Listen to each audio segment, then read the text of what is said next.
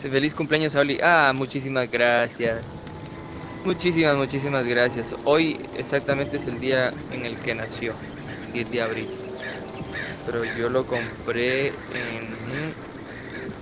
abril, enero, febrero, marzo, abril, mayo, junio, en junio o julio. Yo creo que lo compré tres, dos meses o tres meses.